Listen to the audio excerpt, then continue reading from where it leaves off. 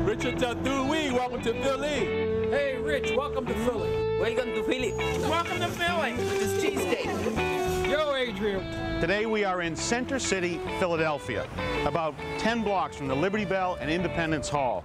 You know, the place they signed the Declaration of Independence. I am learning all the local customs. Soft pretzel for breakfast. At lunch, we're supposed to have a Philly cheesesteak.